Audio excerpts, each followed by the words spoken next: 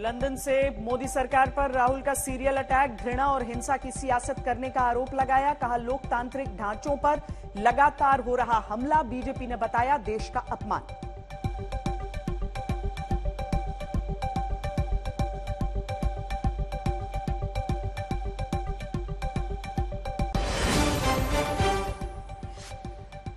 पूर्वोत्तर के दो राज्यों में कल से नई सरकार का आगाज़ मेघालय और नागालैंड के मुख्यमंत्री लेंगे शपथ समारोह में शामिल होंगे पीएम होली के दिन। माणिक साहा के सर सजेगा त्रिपुरा का ताज।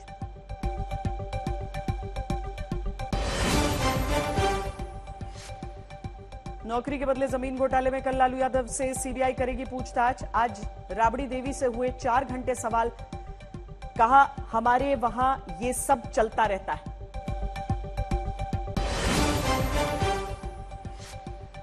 शराब घोटाले में सिसोदिया को 20 मार्च तक जेल।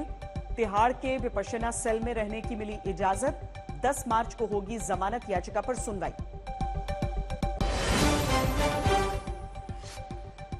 प्रयागराज हत्याकांड में शूटर विजय उर्फ़ उस्मान ढेर।